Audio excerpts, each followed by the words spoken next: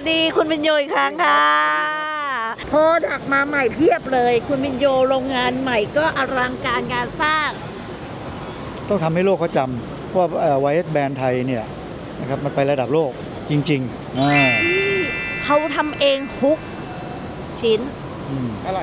ผลิตในเมืองไทยทุกชิ้น เมืองไทยทำหมดอะอะไรเนี่ยนะดีไซน์จากเรา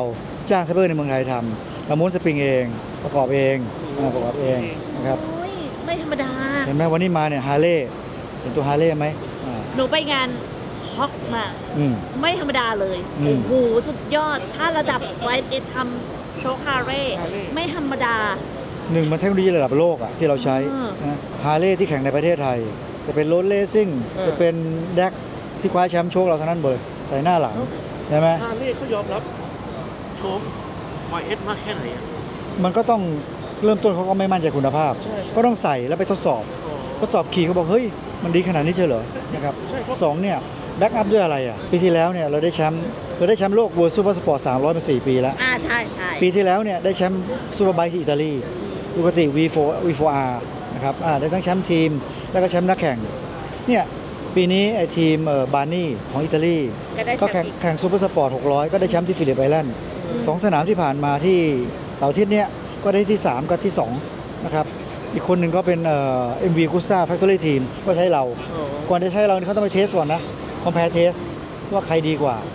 data log เป็นตัวบอกเองว่าใครดีกว่าอ่าฮะอะไม่ใช่เป็นนักแข่งบอมบอกอย่างเดียวว่าเฮ้ยรู้สึกดีหรือไม่ดีไม่ใช่data log บอกเลยเพราะโกหกไม่ได้อ่าใช่อ่านะครับ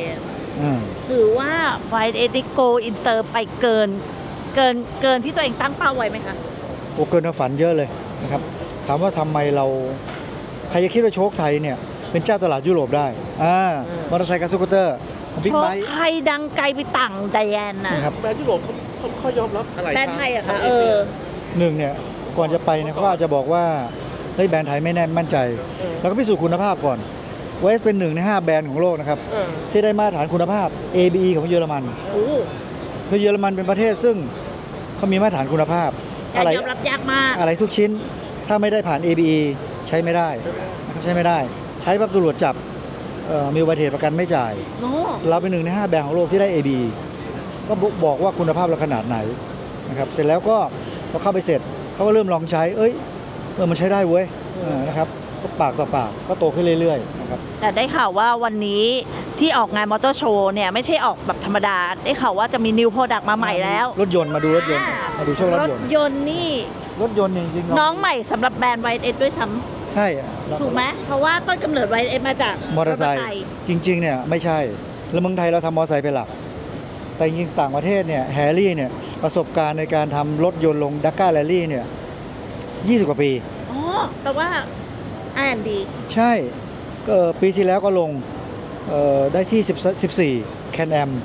นะครับคือจริงๆถามว่า Dakar Rally เนี่ยแค่เข้าเส้นชัยก็เก่งแล้วฮะได้ที่ 14 นะครับ ปี 2022 ได้ที่ 19นะครับจริงปีที่แล้วเนี่ยเราควรจะติดท็อป 10 ถ้า 3 สนามสุดท้าย เครื่องอาเกียร์ไม่พังอ๋อเพราะก่อนหน้านั้นนะติดท็อป 10 มาตลอดเลยนะครับแสดงว่าเอ่อคุณภาพ10 10มาวันหมื่นกิโล ผ่านทะเลทรายที่ร้อนกลางคืนอุณหภูมิติดลบยังทนมาได้อะเออนะครับวัดวัดความอึดเลย ปกติโชคถ้าสมมติเจอหลาย ๆ อากาศนี่มันโอกาสย้วยย้วยใช่ไหมๆใช่แล้วมันอ่าแล้วมันทนไม่ได้ อ่า อ๋อเออเออ แล้วแต่ว่าพี่ นี่ก็เลยมาเปิดตัว แต่นี่ทนได้ จากพื้นฐานของตัวที่เราทำใช่ไหมโน้ตฮาวต่างๆแฮร์รี่ก็ถ่ายทอดมา แล้วก็พัฒนาโช้คสำหรับใช้งาน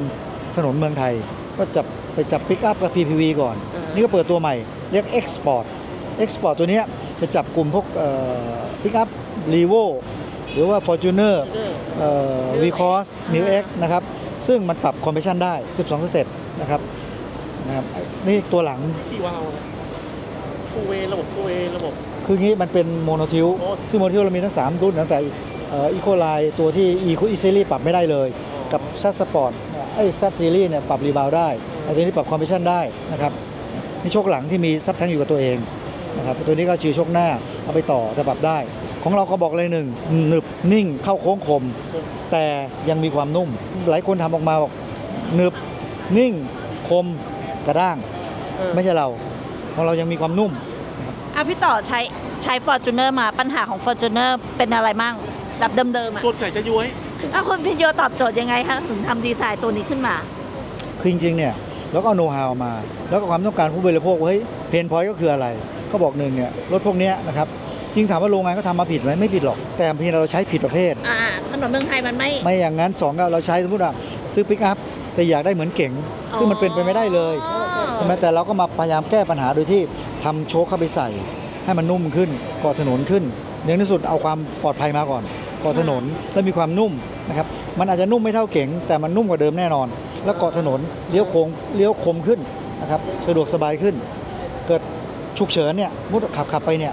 มีหมาตัดหน้าปกติเราเลี้ยวปุ๊บเนี่ยลงข้างทางเลยไอเนี่ยเลี้ยวเนี่ยจะคอนโทรลรถง่ายขึ้นคอนโทรลรถง่ายขึ้นได้ดีขึ้นอ่าเบรกสั้นลงเลยเห็นเลยนะครับอ่า ปลอดภัยขึ้น มันไม่ใช่เกี่ยวกับระบบเบรกอย่างเดียว มันเกี่ยวระบบช่วงล่างช่วงล่างด้วยอืมช่วงล่างด้วยนะครับอะแล้วต่างกันยังไงคะสองอ๋อนี่หน้ากับหลังถูกไหมแค่นี้อันนี้อันนี้หลังนี่หน้าอ่ครับหน้ากับหน้าจะมีสปริง ถ้าสำหรับปิกอัพนะครับ ข้างหลังนี่ก็จะไม่เขามีแหนบอยู่แล้วนี่แหละแต่ถ้าเราเรากดเองเลยเราม้วนเองเราคนเอง ความหนาแตกต่างกับอันอันเก่ามากน้อยแค่ไหนคะความหนาคือความหนาของสปริง คือสปริงเนี่ยเราเราไม่เราไม่พูดถึง ความหนาหรืออะไรก็ตาม เราดีไซน์เนี่ยให้แมทกับรถรุ่นนั้นอ๋ออ๋อคือบางตัวอาจจะแข็งขึ้นบางตัวจะนุ่มลงแล้วแต่ให้มัน match match มันก็หนึ่งเนี่ยรถเนี่ยสี่ล้อมันควรจะ balance เออทำ weight balance ให้มันเท่าให้มัน balance ได้ค่ะนะครับ balance ได้อืมอืมแล้วอย่างลูกลูกค้าต้องการสปริงขนาดนี้ขนาดนี้เราทำได้ไหมคือจริงๆเลยนะลูกค้าบอกไม่เหมือนกันนะผมไม่แนะนำเออคือถ้าสมมติรถคุณเป็นรถ standard หรือไม่ได้แบบว่าเอ่อ สมมติไปใส่ big bumper ใส่ winch น้ำหนักหน้าเยอะ อันนี้อาจจะมีสปริงเฮฟวี่ดิวตี้ที่ใส่ข้างหน้าอ๋อแต่ถ้าบอกไปใส่รถทั่วไปแข็งเลยครับอ่าน้ำหนักมันต่างกัน คือคือน้ำหนักรถน้ำหนักชิ้นชิ้นส่วนอยู่บนรถเนี่ยมีผลต่อสปริง แล้วก็ดีไซน์ให้แมทกับรถแต่ละรุ่นอ่าครับอืมดีไซน์มาแล้ว การันตีเลยครับคุณขึ้นไปใส่ คืออย่าเชื่อผมเยอะนะก่อนจะใช้ YS ไปลองที่ YS DC ได้เลยอ่าเขาไปลองมีรถให้ลองเลยนะไปลองปุ๊บ ถ้าไม่ดีไม่ต้องซื้ออ่าแน่อ่า ไม่ต้องซื้อ ใจถึงใจใจถึงใจถึงนะอ้าวคือมันต้องมันต้องให้ผู้บริโภคมีทางเลือกว่าเฮ้ยเขาจ่ายเงินขนาดเนี้ยคุ้มไหมน่ะ ถูกไหมถ้าไม่คุ้มเนี่ยมุดเราเป็นผู้บริโภคก่อน เราจ่ายเงินขนาดนี้ได้ของไม่คุ้ม เราก็ไม่พอใจ ใช่ถูกไหมใช่ต้องคุ้มเออต้องคุ้ม แล้วราคาคะตอนนี้ที่เปิดตัวอยู่ราคาอยู่ที่จับต้องได้นะเออคือถ้าพอโชคสี่ต้นเนี่ยหน้าหลังเนี่ยสามหมื่นเก้าพันสามหมื่นเก้าพันบาทอืมนะครับถ้าเป็นรวมสปริงด้วยห้าหมื่นหนึ่ง อ๋อนะครับ สปริงสี่สปริงสี่ตัวของ Fortuner หรือ MU-X แต่ถ้าชอบปิกอัพเนี่ยมีสปริงคู่หน้าอย่างเดียวก็ 44,900 จับต้องได้จับต้องได้รับประกัน 2 ปีเออรับประกันสองปีอ่านะครับมีปัญหาอันนี้ที่นี่รวมใส่ด้วยไหมคะ ถ้าสมมติคนอยากให้ที่ YSS ใส่ คือถ้ามาที่ YSS เนี่ยถ้ารุ่นเนี้ยเราบริการติดตั้งฟรีให้เลยอ๋อนะครับอ่าแล้วตัวแทนจำหน่ายของ YSS ตอนนี้ในประเทศไทยมีเยอะไหมคะ ก็ประมาณสักเกือบ 300 รายแล้วโอ้เยอะขนาดนั้นเหรอใช่ครับทุกทุกภาคทั่วประเทศโอ้ เรามองข้ามเรื่องของการที่เรียกว่าศูนย์บริการด้านนี้ด้วยไม่ใช่ค่ะไม่ใช่จัดจำหน่ายอย่างเดียวนะ ตอนนี้เราเริ่มสร้าง service center service center หมายถึงว่าเขาซื้อโช้คเรารุ่นที่ซ่อมได้เนี่ยเราเริ่มสร้างในประเทศไทยแล้ว ก็คือเอา concept จากยุโรปมาใช้ ดูแลหลังการขาย โช้คคุณเสีย หลังจะหมดประกันแล้ว คุณไปที่ service center ไม่จำเป็นจะต้องเปลี่ยนไปเปลี่ยนชุดซ่อมก็ใช้ต่อได้เหมือนเดิมเลยครับนะครับแล้วเราใส่โน้ตฮาวให้เข้าไปรวมทั้ง เรามา train เขาเรียบร้อย มีเครื่องมือ special tool การถอดโช้คเราโดยเฉพาะเลยอ่าการันตีถ้าขึ้นป้ายไว้ service center เนี่ยเข้าได้เลย ที่สำคัญ YSS ไม่ได้มีแค่ service center นะเขามีรถ mobile เคลื่อนที่ในการเข้าไปหาหนึ่งคือเราใช้ dealer ด้วย car dealer จัดกิจกรรมกับ dealer หรือปกติเราเข้าสนามแข่งอืมไป service ในสนามแข่ง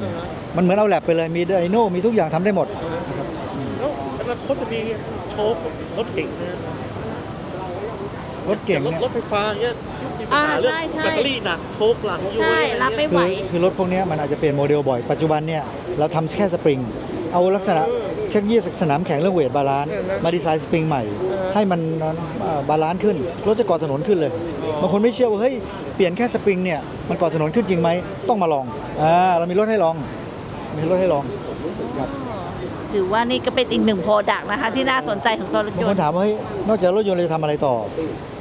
เล่นของเล็กแล้ว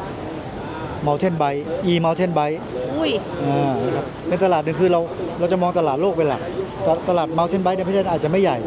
แต่สำคัญแต่ตลาดโลกนี่ใหญ่มากเลยนะครับก็ทำให้คนเนี่ยมาใช้ mountain bike เยอะรวมทั้งปัจจุบันมีไฟฟ้าเป็น electric mountain bike เขาสามารถจะขี่เข้าไปในป่าป่าสงวนได้เลย ไม่มีเสียงไม่มีควันไม่มีมลภาวะไปขี่ได้เลยนะท่องเที่ยวสบายนะครับมีโช้คสปริงรองรับมีหมด มีหมดยอดสุดยอดแล้วทำมอเตอร์ไซค์ตอนนี้ product มอเตอร์ไซค์มีตัวไหนใหม่บ้างคะสำหรับนิวายเนี่ยโปรดักเราเลยเยอะมากเลย ไปดูเถอะ เรามีโปรดักอยู่ประมาณปัจจุบันนี้ประมาณสักถ้าผมจำไม่ผิดประมาณ 5,000 ไอเทม เราเราไปเที่ยวโรงงานดีกว่า เออไปเที่ยว เออใช่เราไปเที่ยวโรงงานไงไปดูไปดูโรงงานไปดูดีซีไปดูถูกต้องเทคนิคทุกอย่างอ่าไปไม่เคยไปผ่านเฉยๆเขาไม่ผ่านเขาเคไม่ยผ่านเฉยต้องเข้าไปไปดูของจริงเขามิวเซียมด้วยนะอ่าอ่ามิวเซียมในการโชว์รถด้วยนะๆอยากไปรอถยากไปแบบดูรถหายากอะตั้งแต่ปี 1965 ถึงปัจจุบันเรามีโชคตอบหมดเลยนะครับอืมเขาเก็บสะสมรถอืมไม่บอกใคร แสดงไปสู่พิพิธภัณฑ์เลย แข่งเอารถโมโมอ๋อแล้วเออเออแล้วก็ทำโชคใส่เองด้วยใช่ใช่ ใช่ไม่เป็นโชครุ่นที่เรามีนะอ่าฮะ อ่านะครับรุ่นไหนที่ไม่ได้ใช้โชคเราเราไม่ไม่ทำใส่อ่าเออเพราะฉะนั้นนะเดี๋ยวเราต้องแวะต้ต้อองงไปดูแวะยินดีครับไปยินดีต้อนรับเลยได้เออลูกค้าทุกท่านอยากเข้ามาดูมาดูได้หมดเราเปิดให้ชมฟรีเลยนะครับที่มาไหนดู คะบอกสถานที่อยู่ที่เทพารักษ์กม 18 นะครับ บางปลา นะครับดู location เดินเรียบคลองใกล้ๆคลองส่งน้ำสุวรรณภูมิอ่าคือเข้าไป search ใน Google ได้เลยครับว่า SDC เจอเลย โชว์เลยใช่อ่าโชว์เลย ไปครบ แล้วแถมมีอ c เซสซอรี่ตัวอื่นอีกด้วยถูกต้องนะ มีด้วยมีครบเลยกูอยากไปวันนี้เลยไปเสร็จแล้วซื้อเสร็จ